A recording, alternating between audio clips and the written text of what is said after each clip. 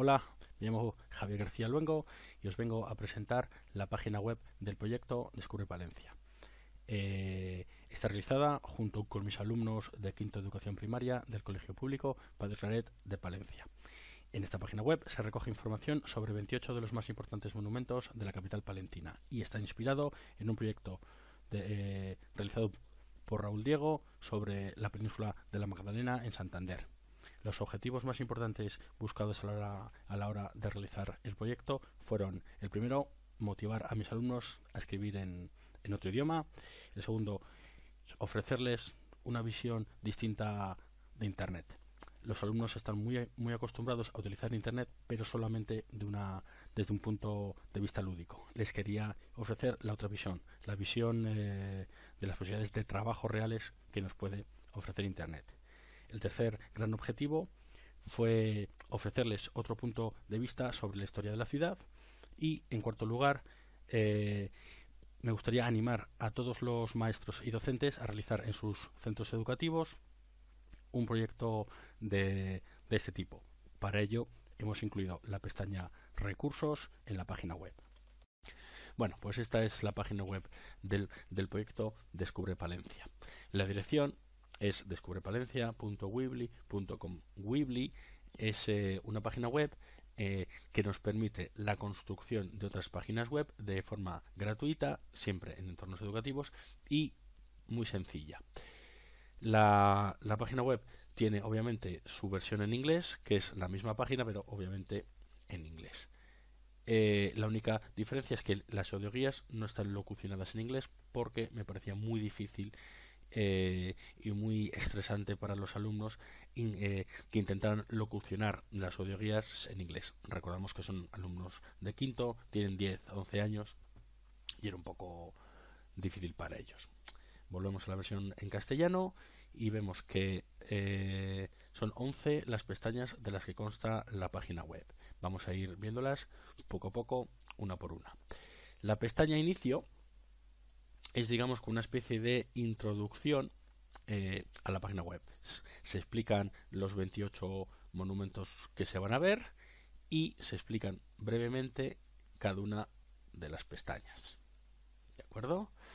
La siguiente es la pestaña proyecto, donde se explica eh, el proyecto realizado, los, los objetivos perseguidos, eh, el porqué, el formato de la, de la página web es tan sencillo, de donde sacamos la inspiración, etcétera, etcétera. Y están las fotos de los alumnos que han realizado este proyecto.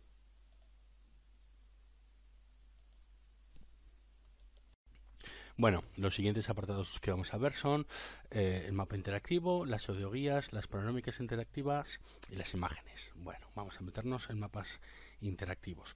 Eh, mapa interactivo, desde el principio nos parece una muy buena idea eh, geolocalizar los, los monumentos en un mapa y no solo eso, sino añadir eh, cierta información a, a cada monumento. Así, por ejemplo, si nos, museo, si nos metemos en el Museo de Palencia, veremos que eh, incluye no solo su geolocalización, sino la descripción, la información de este monumento, un vídeo eh, explicativo y un enlace web que es un, un enlace a, a, Google Street View. Eh, nos pareció una buena idea eh, mostrar a los, a los visitantes de la página dónde están eh, los, los monumentos, es decir, enseñar un poco el entorno de cada monumento. ¿De acuerdo? Se, eh, pasa ahora a los autoguías, que es, eh, digamos, la parte que nosotros consideramos más importante de la página. Fue como el, el nacimiento del proyecto. Así, por ejemplo, vemos que están todas las autoguías creadas. Nos, nos vemos, por ejemplo, en la Catedral de San Antolín y vemos que en primer término está la audioguía eh, grabada y creada por los alumnos. Vamos a intentar escucharla.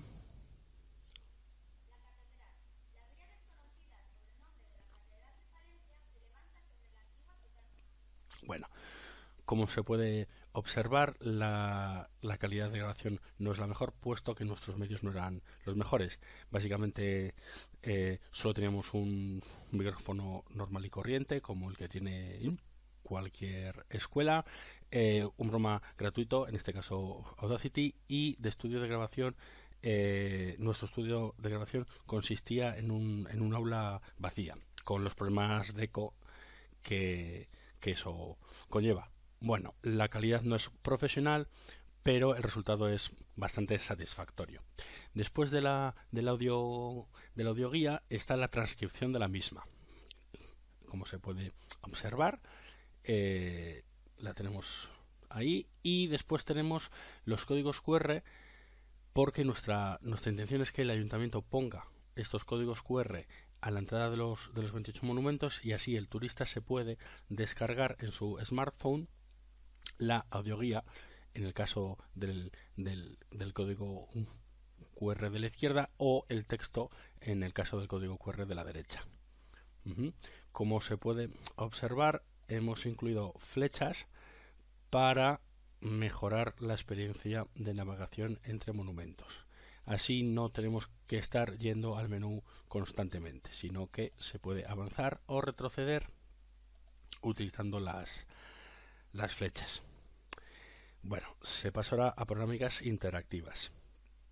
En ellas eh, hemos grabado eh, casi la totalidad de los, de los, monumentos eh, incluidos en la página web. Nos falta solo el estudio de Jerónimo Arroyo, puesto que sufrió muchas modificaciones, entonces solo se respeta la, la fachada original. Entonces, grabar el interior, grabar una vivienda normal, pues no nos parecía, la verdad, adecuado.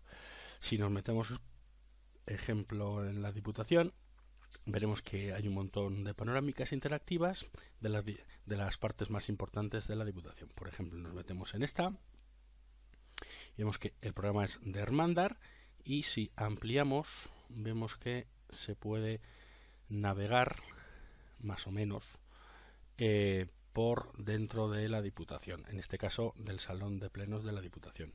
Se puede cambiar la calidad de imagen y se puede hacer zoom. Bueno, esto nos pareció muy interesante, puesto que es como eh, navegar, estar dentro, meterse dentro de los monumentos de Palencia y después tenemos las imágenes. Eh, las imágenes eh, son fotografías eh, que los alumnos han tomado en su totalidad, bueno, casi en su totalidad, faltaba alguna que tome yo en verano, fueron sus deberes de Semana Santa, el ir a los monumentos a tomar imágenes.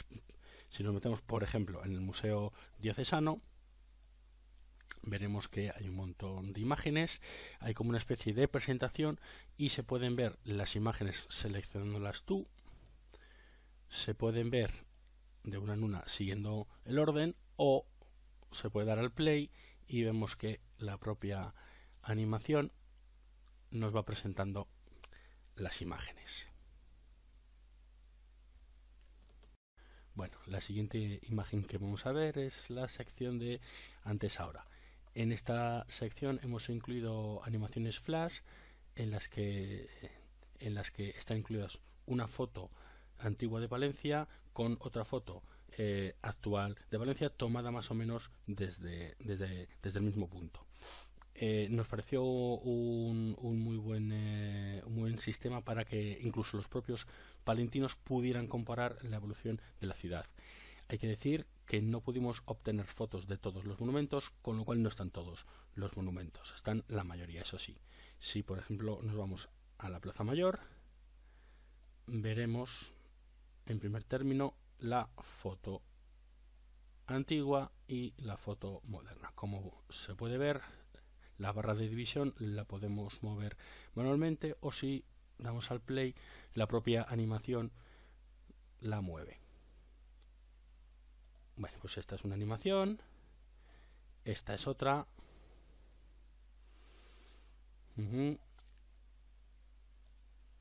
Eh, el programa que crea estas animaciones es muy intuitivo y muy sencillo de utilizar. os animamos a que las probéis. Siguiente sección, ruta para móviles. Gracias a Geo Augmented pudimos crear eh, dos rutas, una en castellano y otra en inglés, para que eh, si te descargas esta aplicación en, en tu móvil puedas seguir una ruta pregrabada de los monumentos en Valencia. Con esta aplicación se puede acceder a toda la información sobre cada monumento, ver imágenes de cada monumento, ver vídeos de la mayoría de los monumentos, obtener indicaciones para llegar a cada monumento, no, no importa el sitio en el que estés, es decir, que la aplicación utiliza automáticamente el GPS del, del smartphone, ver un mapa eh, interactivo donde estás tú localizado y dónde están los monumentos localizados, ver en tiempo real la, la información eh, de distancia y de dirección para llegar a los, a, los distintos monumentos y seguir una ruta predeterminada. En ella los monumentos están ordenados así. Primero San Lázaro, luego el teatro principal, etcétera. Y explicamos más o menos brevemente cómo utilizar la aplicación. Es muy sencilla, muy intuitiva y es gratuita. En la sección de Palencia aumentada jugamos con realidad aumentada, una, una tecnología que, que les encanta a los críos y sencilla de utilizar. En la sección explicamos lo que vamos a necesitar y un ejemplo práctico para que la gente vea cómo se utiliza esta tecnología. Ejemplo ¿Veis? No hace falta más que enfocar el marcador a la webcam sin taparlo y sin girarlo en demasía. Los monumentos que vamos a poder eh, ver son el ayuntamiento, la catedral, la diputación, el Instituto Jorge Manrique, el puente de hierro, la iglesia de San Juan Bautista, la iglesia de San Lázaro y la iglesia de San Miguel. En la sección están incluidas las instrucciones así como los links de descarga del programa y una serie de consejos para mejorar la calidad de la visión. Bueno, y para finalizar esta presentación vamos a ver las dos últimas secciones de la página web, que son la de recursos y agradecimientos. En la de recursos hemos incluido todos los recursos materiales y el software utilizado. Eh, os recuerdo que uno de los objetivos principales de la página web es animar a cualquier docente o grupo de docentes a realizar la misma o realizar una parte de la misma. Por lo tanto, nos parecía fundamental incluir todos los recursos materiales y el software utilizado. Recursos materiales son muy básicos, están al alcance de todo el mundo. Ejemplo, hemos utilizado solo un ordenador, un smartphone, un iPad, un pie de micro utilizado para grabar las panorámicas eh, interactivas, un micrófono y una webcam. Nada más y nada menos. Están todos al alcance de cualquier colegio. Y en recursos eh, software utilizado están incluidos todos los programas con los links de descarga de todo el software utilizado, así como una breve explicación de para qué se ha utilizado el mismo. Por ejemplo, si vamos en Flash XMLNet, nos lleva a la página para crear las, las presentaciones Flash de antes ahora. Y en agradecimientos están incluidas todas las instituciones o personas que nos han ayudado a la realización de la misma, así como las personas que, eh, que han hecho eh, las imágenes 3D utilizadas en realidad aumentada. Acabamos aquí el vídeo de presentación del proyecto Descubre Palencia, animándoos a que lo realicéis en vuestras aulas. Es eh, mucho más fácil de lo que parece, en serio eh, mirad, echad un vistazo a las diferentes secciones y veréis que son muchos datos. Eso es eh, lo más complicado del proyecto, pero la verdad es que es muy sencilla de realizar esta página. Un saludo.